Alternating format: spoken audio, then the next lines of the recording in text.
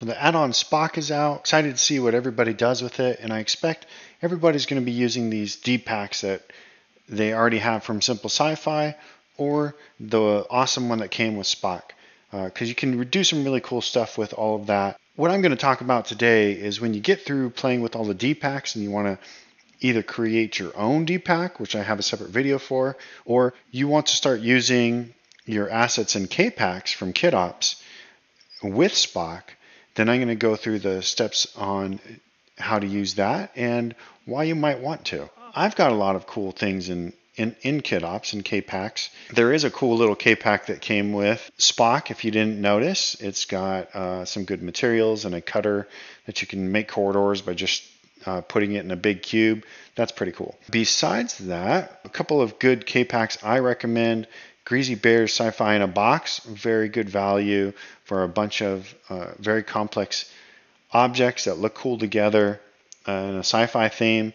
And then there's these interior objects bundles, just lots of everyday things like couches, beds, that kind of stuff. Whether you're doing architectural visualization or, or just setting up a simple scene for a character, it's good to have this kind of stuff on hand without having to constantly search for it really good value in both of them. I'm going to take one of these sci-fi in a box objects. I'm going to grab the rack server here. I'm going to go ahead and just add insert. I don't have anything selected. I'm going to hit add insert and it's just going to put it at the world origin. I'm just going to increase the plane size by five. Now a lot of the objects or inserts in KitOps are going to have a handle like this. They have an empty or they have a cutter. We're going to work with that. We're just going to hit G, X, move this off center. Just so you can appreciate how much detail is in this object, I'm going to hide the, the main body and you can see we've got face plates, we have separate displays, controls, keys, uh, the little handles and everything. And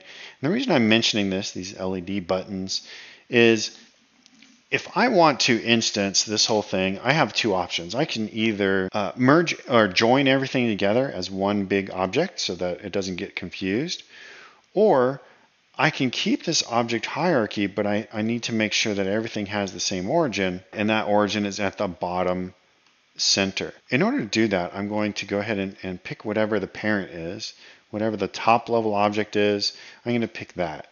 And then I'm going to go into Spock and we hit Tools and hit prep. And it's going to set everything to this bottom center origin. That way, whenever anything, when it, everything is instanced by Spock after it you know fills a space with it, it knows how to place it all in relation to each other because they all say, share the same origin point. But that's all I really need to do. You can do this with many objects, and we'll go over that in a second. KitOps will typically already put stuff into its own collection, so I'm going to go ahead and leave that. And I'm going to just hit new. I'm going to select the collection for that insert. We select the plane. And I'm just going to hit pack. It, it's just going to take the bounding box and it's going to figure out how to fill this space with that bounding box.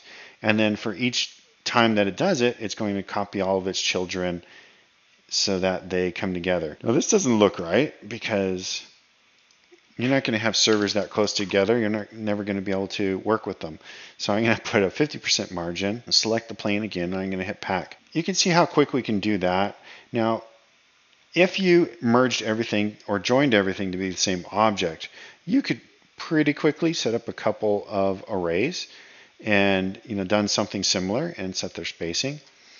But this is the only way that I know how to do something like this if you kept the objects individual. Fairly convenient thing that Spock can do if you want to repeat anything over a surface area and keep its hierarchy, it will do that for you. But this isn't that interesting. I want to show I want to show doing this at least with two objects. So let's go grab a shorter server rack. Make sure nothing's selected. Now that I've got two objects, I can't use these old collections. They're going to have to share the same collection. So what I'm going to do is I'm going to select all of uh, all of the objects I'm going to hit M, create a new collection. I'll just call them servers. And now what I'm going to do is just use the one collection that has the two objects. Uh, I could have done two separate collections and had them with a one-to-one -one factor. Uh, that's this isn't really as much a how to use Spock tutorial as how to use the uh, KPack inserts with it. But so I'm going to go ahead and leave them in the same collection and hit pack. And now we get a mix of the servers. And this is where it starts to get fun. When you have a collection of things that make sense to be used together in in a space, but you want the distribution of them to be kind of randomized. You know, you can start playing around with what the rotations are, the different algorithms, and all the fun things that Spock can do. You don't have to do much to work with it. You simply put the object in the scene, make sure you prep it, you are good to go. I've got one more thing to show. I'm going to go ahead and clear that. Here we've got, I need to do some crazy detail on these things. All right, let's go ahead and see what this cutter looks like. So I'll zoom into this cube. I'm going to hit add insert. And yeah, this thing's kind of big. But what it's doing is you can see it removes the space. This cutter is removing the space from the cube in order to have the space to put this in and be flush and have these details that sink into it. So Spock does not support cutters. I want to show how to work with them in Spock because there's there are a lot of cool assets in in uh, KitOps that have them. So I'm going to hit add insert. Got our insert there and the parent of it, the, the top level is this wireframe cutter. So I, I, shouldn't have to do anything with this besides I'm going to hit convert to mesh because it's going to apply any modifiers to it and do some apply transforms and stuff.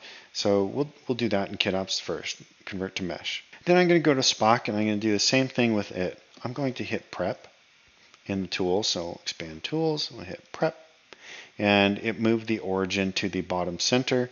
And then for all the objects, they all now have the same bottom center origin so nothing gets confused. Now because this already has its own collection name, I can just use it as is. I'm going to select the plane.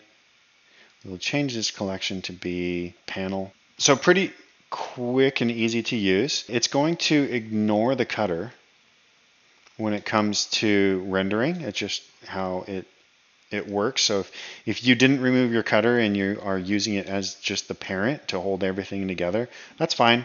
You can leave it in there. It's not going to end up in your render. It's just going to be used as the bounding box. Okay, that was our quick run through of how to use a K-Pack insert from KitOps with Spock. Uh, it's one of the quickest ways that you can fill a space.